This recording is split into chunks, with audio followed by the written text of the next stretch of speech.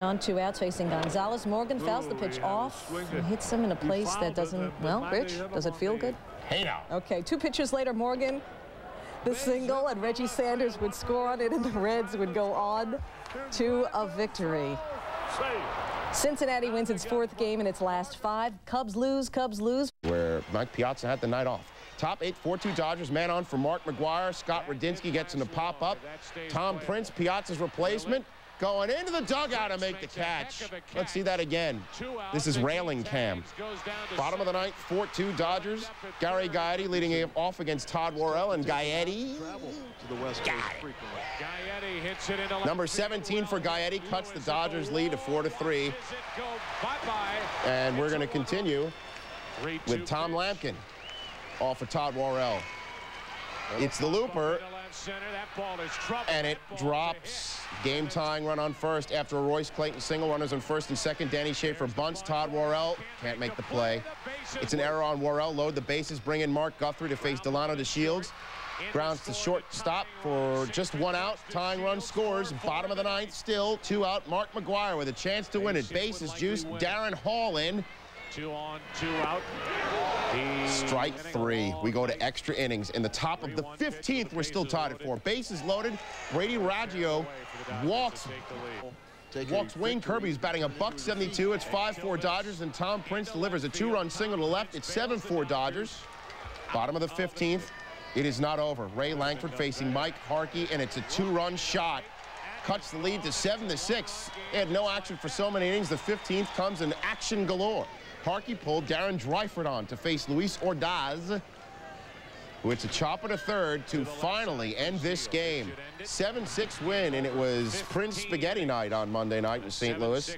A three-run 15th gives the Dodgers first place. Do they? Uh-oh. There's some adversity. Lewis to left. Bautista drops it. Darryl Hamilton scores. So does Bonds. 4-0 Giants. Shawn Estes on the hill facing Kenny Lofton. He was just absolutely magnificent tonight. Never threw a curveball until the fourth inning. Then he started dropping the yackers. That was Greg Colbrunn, Jeff Blauser. Hello, goodbye.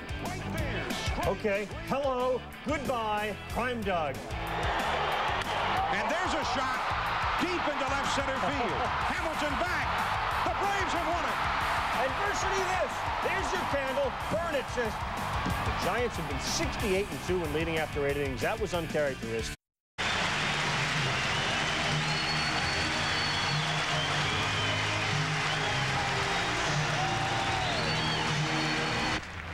Eric Davis back on the field, back in the batter's box, back to right center field, and caught near the warning track. Top of the fourth, Matt Williams at the plate for the Tribe, and he goes to right center. Davis is out there.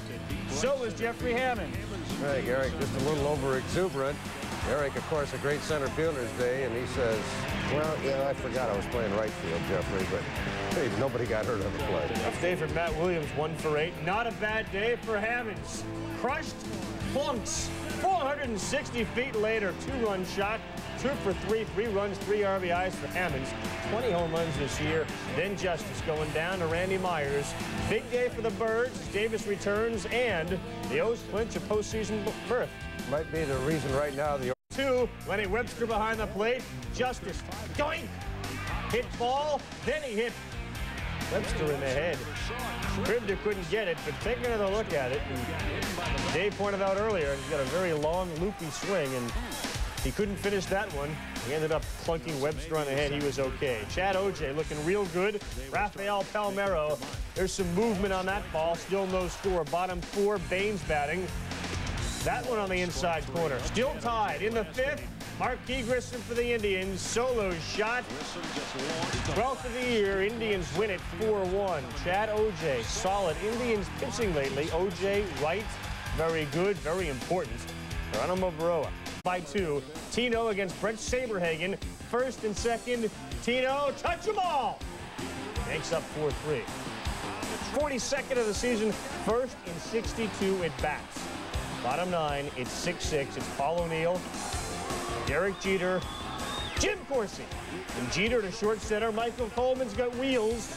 He doesn't have wings, though, and he couldn't fly to that one. And the Yanks win. Final score, 7-6. Boomer Wells, five and a third, 12 hits. Jackson's at first, and he goes to second, stops short of the base. Fools Ray Durham. Everybody is safe. Brewers up two to one. Now 9-4, top six, Jeff Abbott coming in. And guess what? Jeff Abbott going deep for his first career home run. The lead is 9-6. Three batters later, one on for Ozzie Guillen. Power surge. Ozzie Guillen doesn't home runs. Yes, he does. It's 9-8. Bottom seven, same score. Darrin Jackson facing Nelson Cruz with one on. Jackson delivers. Parada Insurance runs the Brewers up 11 to 8. But guess what? It's Albert. Yeah, and it's Doug Jones. Guess what? Changeup. Robin Ventura. Fastball. See you, Robin. Probably looking for the changeup. Jeff Abbott. Fastball. Probably looking changeup. Game, set, match. Doug Jones continues to befuddle the American League. It looks like a wiffle ball when he throws it. In the bottom of the third. His 38th home run of the year brings the Rangers within seven to four. And the Rangers fans, you know, they're all they're all fired up and they're also musically inclined.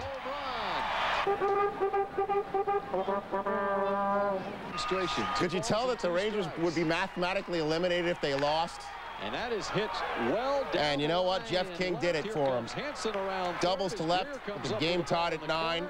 Here comes the second. In the ninth inning, Around third. He will Jed Hansen, Jay Bell score. Royals win 11-9, posted a season high 19 hits, but still needed that clutch two run. There's only one. Larry Dierker got into a pretty good chess match.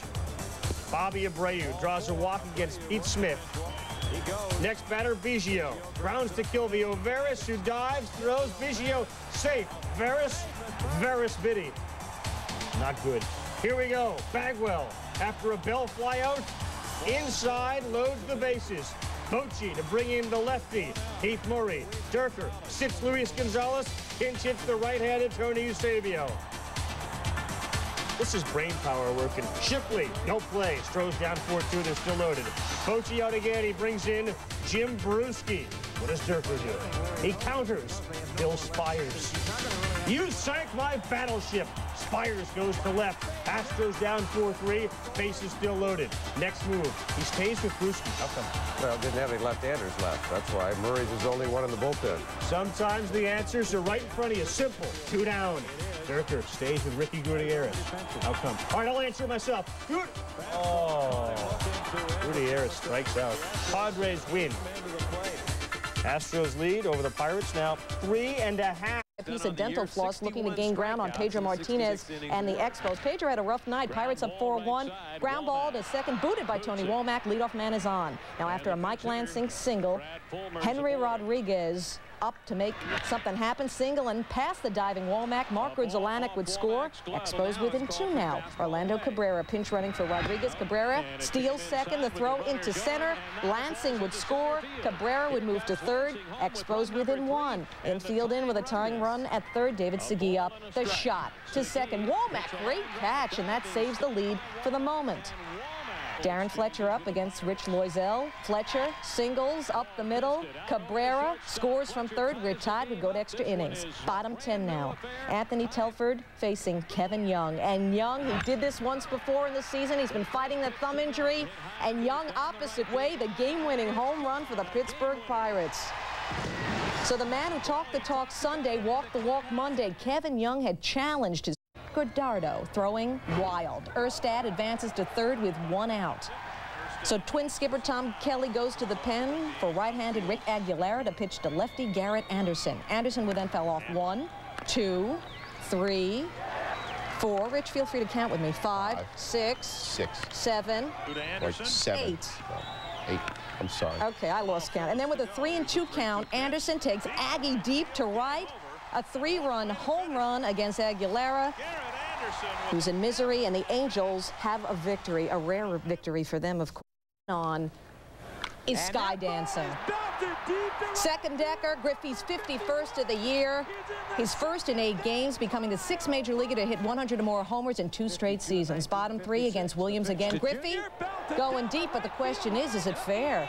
It's foul, and Griffey just having a ball can only smile at that close call. Bottom five, Alex Rodriguez pops one up, hits a speaker. This is the kingdom. Carlos Delgado looks like a member of the M's the way he played that. Great catch. Rodriguez is out.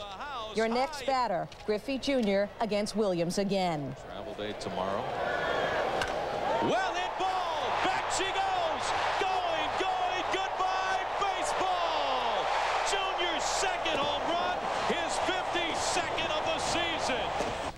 Number 52, and then Jays down 6 0 The former AM, Jose Cruz Jr. against Ken Cloude. A two run home run, number 24 on the year for Cruz. Jays within four, top nine.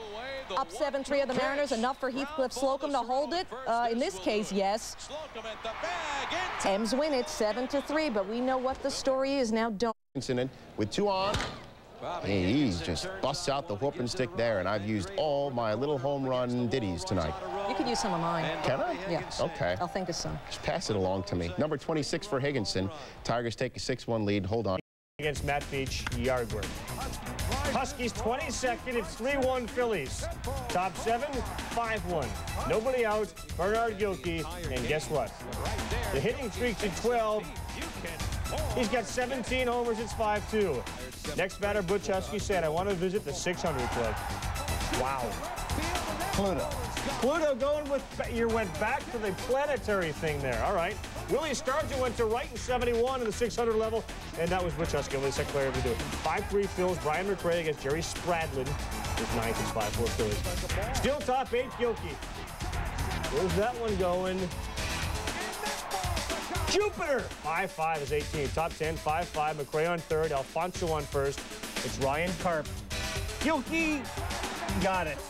Valentine all fired up as the Mets win 10-5 in 10 innings.